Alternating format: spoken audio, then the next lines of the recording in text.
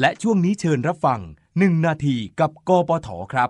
สาเหตุอุบัติเหตุทางถนนส่วนหนึ่งเกิดจากการบรรทุกน้ำหนักเกิน และดัดแปลงสภาพรถโดยไม่ผ่านการตรวจสอบ กรมการขนส่งทางบกขานรับนโยบายรัฐบาลและกระทรวงคมนาคม จับมือกรมทางหลวง กรมทางหลวงชนบท ตำรวจทางหลวง และทหารในพื้นที่ เข้มงวดตรวจสอบรถบรรทุก บนถนนสายหลักและสายรอง ให้ปฏิบัติตามกฎหมายอย่างเคร่งครัด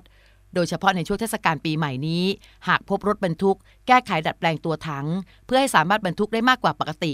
จะดำเนินการเปรียบเทียบปรับขั้นสูงสุด 5,000 บาท พร้อมทั้งสั่งหยุดการใช้รถทันที จนกว่าจะดำเนินการแก้ไข